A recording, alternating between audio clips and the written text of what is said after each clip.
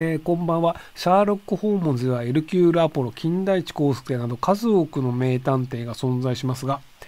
誰が一番だと思いますか？大体ここに名前の出てくる人たちって個別の探偵としての能力なんですけど、コナン君って科学の力を持っていて探偵の能力ではないところで強いんですよね。ものすごい勢いでボールを蹴って人を気絶させる能力とか、針打って人をなんか眠った形にしてこう、腹話術してしまう科学的な機械とかっていうのがあったりするので、プラスアルファの能力を持ってるコナン君の方がいいんじゃないかなと思います。え33歳サラリーマンです。私の知人に工藤新一という高校生でありながらも大変優秀な探偵がいます。しかし、あるトラブルに巻き込まれ、現在は小学生と身分を偽り生活を送っています。どんな殺人事件も必ず犯人を突き止め、サッカーを生かした戦闘スキルを持っており、天才発明家をその下につけている彼が、もし彼にトラ、仮にトラブルズに巻き込まれず、探偵として職に就いていたら、年収いくら稼いでたと予想できますでしょうか？多分彼の場合は年収1000万超えることはないですね。偵って基本儲かんないんですよ。で、彼のやってる探偵業ってさらにその事件解決系なんですよね。彼の周りに人死にすぎ問題っていうのがあるんですけど、で、なんか彼の行く先でガンガン人が死ぬんですけど、その犯人を突き止めた